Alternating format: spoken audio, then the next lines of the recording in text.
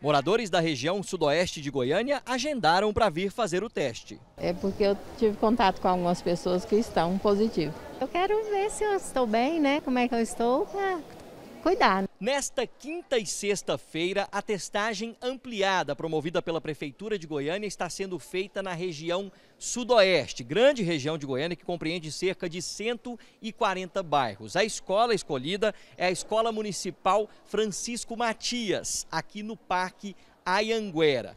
O serviço começa às 7 da manhã e vai até às 5 da tarde, tanto para quem vem a pé, como também no modelo drive-thru. Só que para não gerar acúmulo de pessoas, tem que ser com horário marcado. Entra lá no site da prefeitura, saúde.goiania.go.gov br fornece o número do CPF e também o nome do bairro onde mora e quando vem fazer traz também o comprovante de endereço. É tudo muito rápido. Fazem a coleta por meio do SUAB, que é esse haste flexível colocado ali no nariz. O resultado sai em média 30, 40 minutos. A pessoa já sai com o exame. Está sendo feito aqui na região sudoeste justamente porque nos últimos 14 dias foi observada uma certa frequência de casos de circulação do vírus na região. Portanto, está sendo feita aqui nesta quinta e sexta-feira por agendamento. Nessa testagem nós estamos buscando identificar aquelas pessoas assintomáticas